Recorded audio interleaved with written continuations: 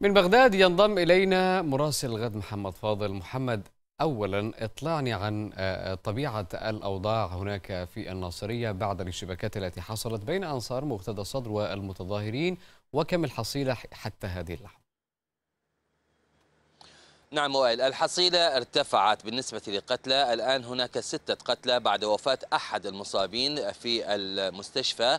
أيضا هناك يعني توقعات بأن ترتفع حصيلة القتلى لأن أعداد كبيرة من المصابين هم مصابين بجروح خطيرة لكن المصابين عموما هم 80 شخص قد أصيبوا جراء الاصطدامات أو الصدامات التي حدثت يوم أمس ما بين المتظاهرين وبين أنصار التيار الصدري في ساحة الحبوبي بالتحديد وسط مدينة الناصرية. طبعا كان هناك إطلاق للنار كان هناك أيضا تدخل من قبل البعض يعني الذين تصادموا بالهروات وبالعصي إلى آخره.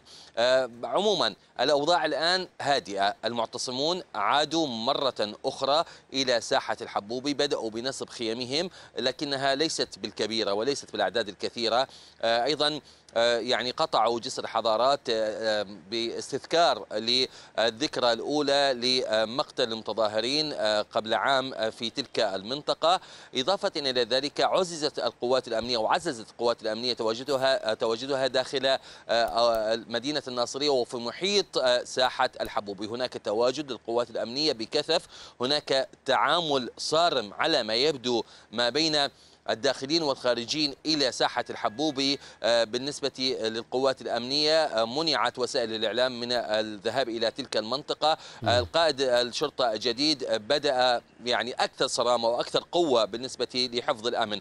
رغم وجود حظر تجوال لكن هناك كسر لهذا الحظر من قبل الأهالي لكن الأجواء ما تزال متوترة نوعا ما بالحذر والقلق لما ستؤول إليه الأمور. على الأرض هذه الصورة. لكن سياسيا قبل قليل لأول مرة منذ الأحداث أو يعني منذ ساعات صرح مقرب من الصدر عبر تغريدة طبعا عبر تويتر قال بأن الصدريين ليس لهم أي شأن بما حدث يوم أمس وأن القوات الأمنية هي التي فشلت في حفظ سلامة وحياة المتظاهرين وأن ما حدث هو شجار داخل ساحات التظاهر لا أكثر ولا أقل. طيب نعم. ما هي السيناريوهات المتوقعة فيما ستؤول إليه الأمور في الساعات القادمة محمد؟ هل سيتم فض الاعتصام الخاص بمناصرين مقتدى الصدر؟ هل ستسيطر الشرطة العراقية على الموضوع؟ هل المتظاهرين سيستمروا؟ ما هي السيناريوهات؟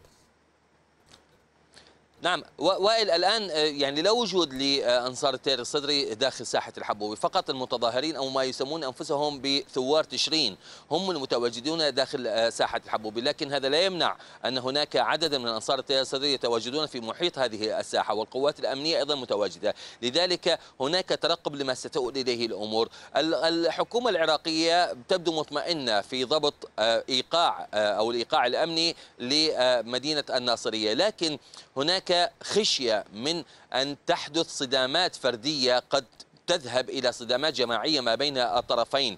وهذا الأمر قد يذهب إلى أبعاد أكثر لأن الناصرية بطبيعتها هي يعني محافظة عشائرية هناك العشيرة هناك لديها قوة وسلطة. لذلك هدد بعض أو هددت بعض العشائر بأنه في حال وجود أي صدامات ما بين المتظاهرين أو جهة أخرى بأنها ستتدخل وأنها ستكون هي المعنية بمسك زمام الأمور هناك وهو أمر خطير جدا. يعني إن جاءت العشائر ومسكت زمام الأمور في تلك المنطقة فإن الحكومة ستكون في موقف حرج لذلك عززت القوات الأمنية وهناك متابعة مباشرة من قبل رئيس الوزراء بصفته القائد العام للقوات المسلحة وشكل لجنة أيضا وهناك لجنة محلية أخرى شكلت لمعرفة تداعيات هذه الأحداث لكنها لن تظهر النتائج يعني ربما يعني خلال الساعات القليلة المقبلة ربما سننتظر يومين لظهور هذه النتائج.